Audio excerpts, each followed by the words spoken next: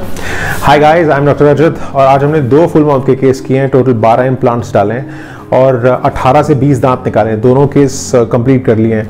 और दिखाना चाहूँगा सेकंड केस जो हमने किया है। टोटल हमने 10 दांत निकाले हैं छः इम्प्लांट प्लेस किए 12 दांत लगाऊँगा। और सबसे ज़रूरी चीज़ मैं हमेशा बोलता हूँ कि जब आप इम्प्लांट प्लेस करते हैं तो आपको एक्सट्रैक्शन जब करते हैं तो आपको जो बकल और लिंगल कॉर्टिकल पेट है, वो बचाना है। एटोमेटिक एक्सट्रैक्शन करना है। कुछ रूट कैनाल दांत थे, कुछ दांत काफ़ी इन्फेक्शन था, उसको पूरा का पूरा फ़ोटो थेरेपी से आपको रिमूव करना है। और सबसे ज़रूरी चीज़ ये कि जब आप पूरा का पूरा इन्फेक्शन निकाल देंगे, उसके बाद क्रेस्टोटमी करनी है जो ऑक्लूजल लेवल है, वो फ्लैट होना चाहिए। उसके बाद आपको प्लान करना है कि इम्प्लांट जो है, वो एक ही लेवल पर होने चाहिए। एपी स्प्रेड अच्छा होना चाहिए बी शानदार होना चाहिए। और सबसे ज़रूरी चीज़ है एंगुलेशन मल्टी यूनिट्स की। कौन सी कॉलर हाइट है, किस कौन सी डिग्री की एंगुलेशन लगानी है आपको। Now I let me just take you through the case now if you can see